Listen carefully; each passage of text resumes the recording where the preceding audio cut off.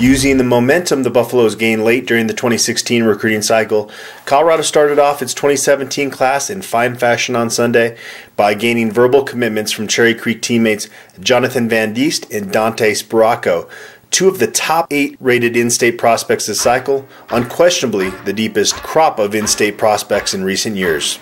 Jonathan Van Diest has already been nicknamed Van Beast by Buffs fans on the Stampede Elite message board. He's been an absolute monster as a pass rusher off the edge for Cherry Creek the last two seasons. Van Beast has 5A state champion, two time All Colorado selection, and 28 quarterback sacks on his resume before even entering his senior year of high school. Van Diest earned an offer from Colorado last May and then worked out as a linebacker for Jim Leavitt at one of the Buffs' summer camps last June. Really, the only question at this point is whether Van Diest will play outside linebacker or inside linebacker when he joins the Buffs. Van Diest got a chance to play everywhere from defensive end to outside linebacker to inside linebacker as a junior for Cherry Creek. Again, at the prep level, his bread has been buttered as a pass rusher, but Van Diest has accepted his potential as a linebacker and given his ability to make plays all over the field, he should really blossom wherever he lines up at the next level. Like Van Diest, Dante Sparaco is not exactly sure where he's going to end up lining up in college for the Buffaloes. And like Van Diest, Sparaco is uh, driven, matured beyond his years type of young man, and both physically and mentally, with his facial hair and uh, 6'4, 253 pound frame. Sparaco already looks like he's a Pac 12 football player right now.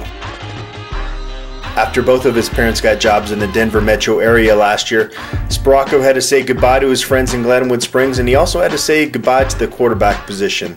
Uh, he ended up having to sit out the first half of his junior year due to transfer rules, and then when he got in there uh, for Cherry Creek, Sparaco played primarily as a blocking tight end for the Bruins last fall.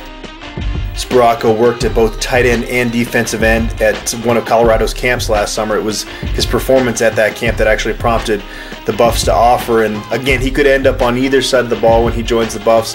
Having watched him at that camp, I would say the biggest thing that stood out was simply Sparaco's ability to move for his size.